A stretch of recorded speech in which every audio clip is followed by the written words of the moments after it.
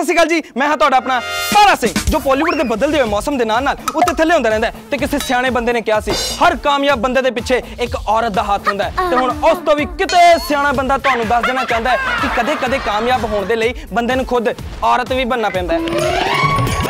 ਹਾਂਜੀ, ਤੇ ਜਿਵੇਂ ਕਿ ਹੁਣ ਸਾਡੇ ਪੰਜਾਬੀ ਮੁੰਡੇ ਬਣ ਕੇ ਆ ਰਹੇ ਨੇ, ਕੁੜੀਆਂ ਤੇ ਲੈ ਕੇ ਆ ਰਹੇ ਨੇ, ਮਿਸਟਰ ਐਂਡ ਮਿਸਿਸ 420 ਰਿਟਰਨਸ ਤੇ ਇਹ ਫਿਲਮ ਦੀ ਰਿਲੀਜ਼ ਡੇਟ ਹੈਗੀ ਹੈ ਜੀ 15 ਅਗਸਤ। ਇਹ ਜਿਹੜੀ ਰਿਲੀਜ਼ ਡੇਟ ਹੈ, ਇਹ ਜੱਸੀ ਗਿੱਲ ਤੇ ਰਣਜੀਤ ਬਾਵਾ ਨੇ ਖੁਦ ਚਿੜੀਆਂ ਉਡਾ ਕੇ ਦੱਸੀ ਹੈ। ਮੇਰਾ ਮਤਲਬ ਹੈ ਟਵੀਟ ਕਰਕੇ ਦੱਸੀ ਹੈ। ਤੇ ਇਹ ਜਿਹੜੀ ਤਰੀਕ ਹੈ ਨਾ, ਇਹਨਾਂ ਨੇ ਕਿਉਂ ਚੁਣੀ ਹੈ? ਪਤਾ ਤੁਹਾਨੂੰ? ਕਿਉਂਕਿ ਹੁਣ ਇਹ ਆਜ਼ਾਦੀ ਚਾਹੁੰਦੇ ਨੇ। ਜੀਣ ਦੀ ਆਜ਼ਾਦੀ। ਮੇਰਾ ਮਤਲਬ ਹੈ ਜੀਣ ਦੀ ਪੈਂਟ ਤੋਂ ਆਜ਼ਾਦੀ ਸ਼ਰਟ ਤੋਂ ਆਜ਼ਾਦੀ ਹਾਂਜੀ ਤੇ ਹੁਣ ਇਹ ਪਾਣਾ ਚਾਹੁੰਦੇ ਨੇ ਪਲਾਜ਼ੋ ਖੁੱਲੇ ਖੁੱਲੇ हाँ पाओ पाओ और पाओ हमारे छोरे छोरियों से कम है कि अब मर्दों की फिल्म के साथ इस लेडीज कम जेंटलमैन फिल्म का दंगल होगा हाँ